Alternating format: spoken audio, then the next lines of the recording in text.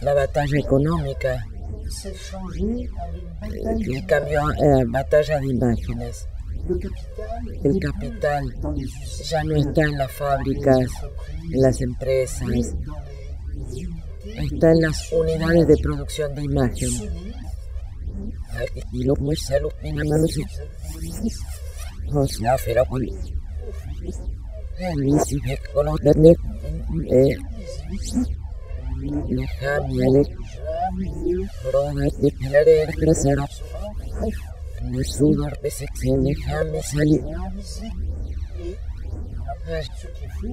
lo cual es falso. Es una manipulación política. Y en cambio cuando se fabrican imágenes en las que se comprende que lo visible está fragmentado, que hay huecos, entonces eso es un acto político también opuesto.